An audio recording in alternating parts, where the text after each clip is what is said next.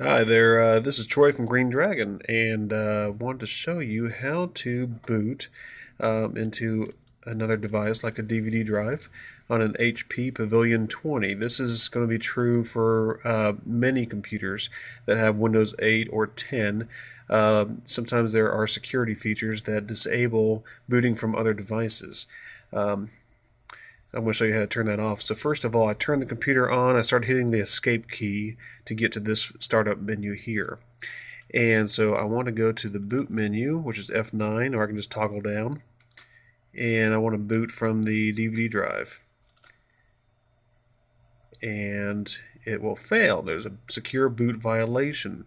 It's not going to let me boot into this for security reasons. So what I need to do is turn it off, turn it back on, Start hitting the escape key again. Tap, tap, tap. Waiting on it.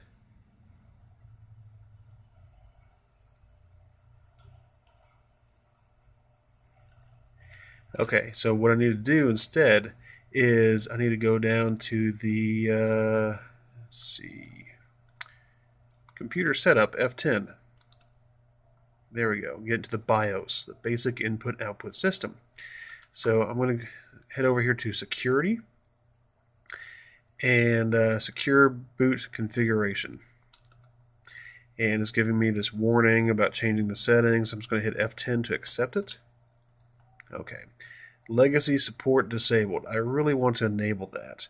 And so I'm going to hit the arrow key to the right. Oh, we get an error here. It says secure boot option may only be enabled if the legacy support option is disabled. Okay, so I hit enter. So what I need to go down here is uh, is move down to secure boot, and then move it to the right. That'll disable it. Let me go back up to legacy support, move it to the right, enabled. Great. Hit F10 to accept. Okay. And now we just need to get out of here. Let's see. I'm going to go back to File, and then the last one here, Save Changes and Exit. And of course, I can always get back in here and change the change this whenever I get done. And are you sure? Yes. Enter. So now if I hit escape,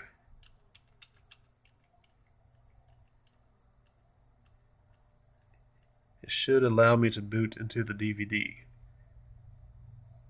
So this customer has a bad hard drive and I want to clone it. Okay, so it's going to ask me this. The operating system boot menu uh, mode changed. I have to type in 1702 plus enter. Now this this will probably be different every time, so yours may be different, but it'll, it'll tell you right there what to type in. 1702 enter. Okay, and now I'm going to go to the uh, boot menu and select the DVD drive. Just thinking about it. There we go. Great, that worked. Okay, thanks. Take care.